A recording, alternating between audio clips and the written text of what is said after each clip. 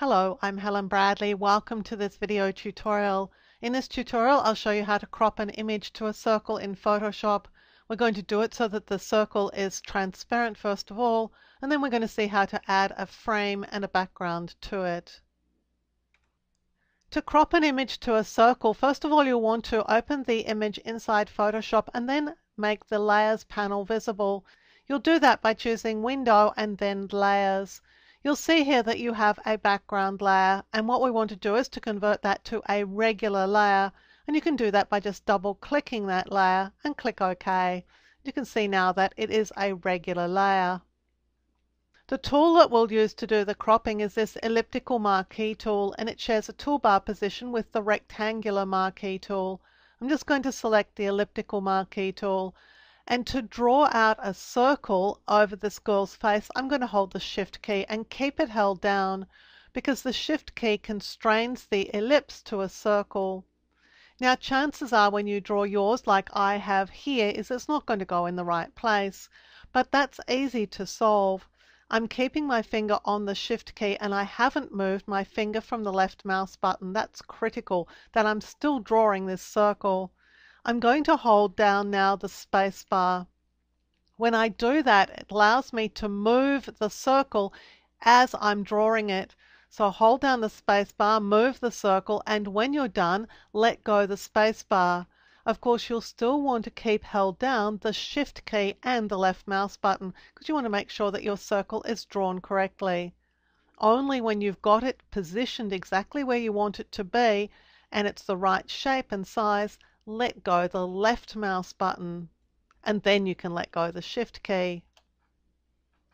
I have my circle perfectly positioned over my little girl's face.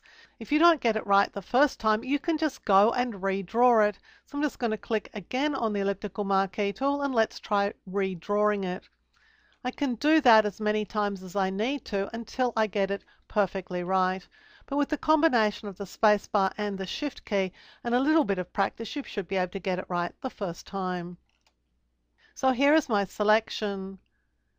Now the little girl's face is selected, so if I were to press delete right now, I'll lose her face. What I want to do is I want to delete everything except her face. So I'm going to do what is called inverting this selection. Make selected everything that is not currently selected. I do that by selecting select and then inverse. Now I can press the delete key. And now I have a circle, which is the little girl's face. Now there are a few things to know about cropping images to a circle and one of them is that images are never saved as circles. They have to be saved as either squares or rectangles.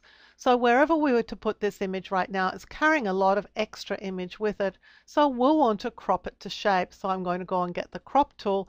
I'm just going to crop in very, very close, but not over the edges of this circle shape.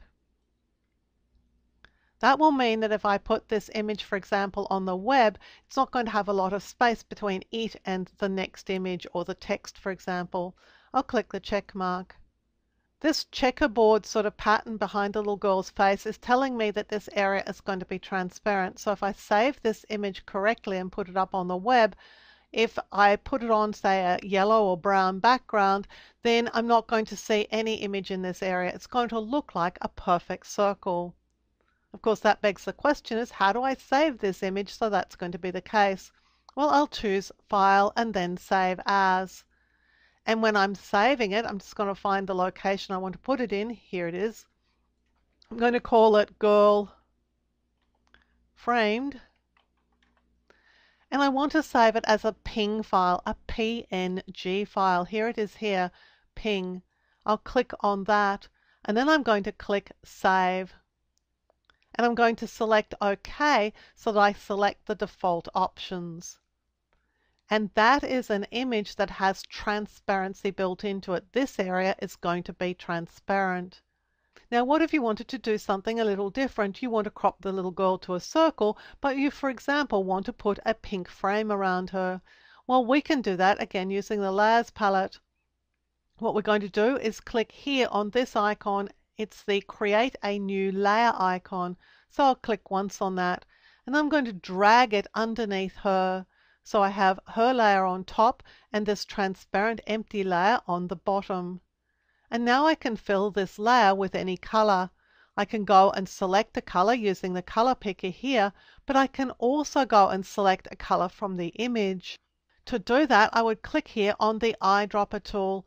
And for example, I can go and select a pink, the same pink as is in her shirt here. The pink is the foreground color. So I'm going to go here now to where the gradient tool is, but what I want really is this paint bucket tool. So I'm just going to click on the paint bucket tool Make sure I have my empty layer selected. I'm just going to click once to fill this layer with a pink color. Now you can also do things such as adding a circular frame around the image. Let's go to the layer that has the little girl on it and let's click the FX button here, the add layer style button, and I'm going to click stroke. And now I can add a stroke around the edge of the image. You can see that the default here right now is a sort of light or bright white stroke. It's very small, it's only 10 pixels. This is really quite a large image.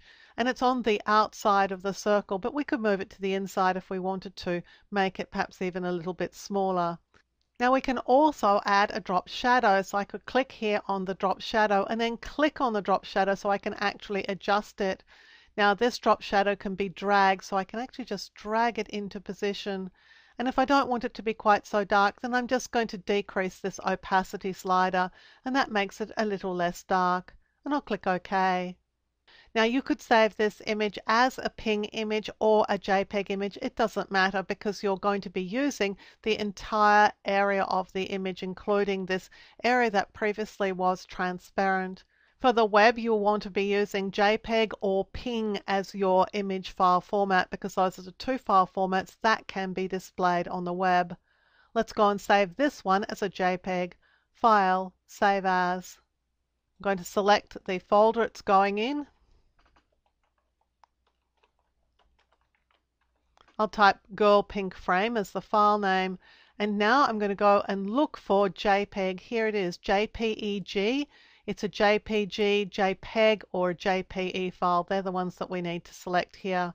And I'll just click Save. And then when the JPEG options dialog comes up, I can select how big an image I want. So I'm just going to make it, for example, high quality for the web, and I'll click OK. So there's how to crop an image to a circle in Photoshop, how to save it for the web so that it has transparency around it, and also how to add a small frame and a background to it if that's what you prefer to do. I'm Helen Bradley. Thank you for joining me for this video tutorial. Look out for more video tutorials here on my YouTube channel and consider subscribing to my channel and you'll be alerted when new videos are released and visit my website at projectwoman.com where you'll find more tips, tricks and tutorials on a range of applications including Photoshop, Lightroom, Illustrator and a whole lot more.